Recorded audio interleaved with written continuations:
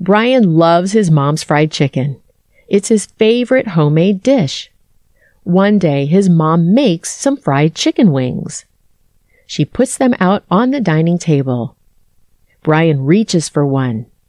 His mom warns him that it's hot. Brian does not listen.